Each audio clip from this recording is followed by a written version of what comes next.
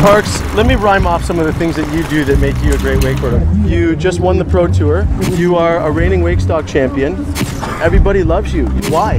Why? Why are you so much higher and so much bigger and so much better than everybody I else? come on now. I don't, I've had so much water time. I've been skiing since I was six months old, so pretty much uh, since early as I can remember, I've been out on the water. I've just always had the outlook of just go out there and have fun and just do my own thing and not worry about like contests and like whole image thing. I just want to do my own thing. You do a lot of crazy things. You do a lot of dangerous things, a lot of things that push the envelope. Does it scare you sometimes? Uh, yeah, you, you definitely get nervous. Like, wouldn't say scared is the word because you definitely can't be scared coming into gaps. Like when you know you, if you slip up, you slip out the back and you're shaking and you're sketchy on it, that's what's going to happen. You Yeah. got to be fully in your head. I'm going to make it, and you got to know you're going to make it. There's a lot of kids that want to be like Parks Bonifay. They want to ride like Parks Bonifay. They want to live the Parks Bonifay lifestyle. Although mom and dad might not agree with us at the time. Um, what advice do you have for kids like that? Turn 19 first. do that first. In Canada? I don't know. Just go out there and have fun. Just charge it, ride your wakeboard, party with friends, do your own thing, and don't follow anybody. Yeah, definitely. Let's do it.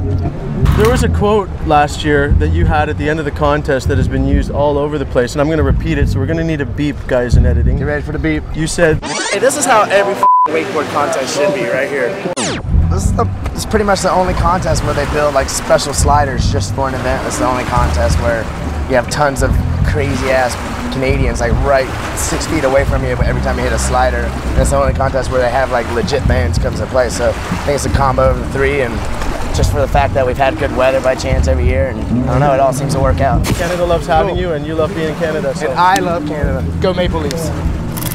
There are two ingredients to making a great wakeboarder steel jimmies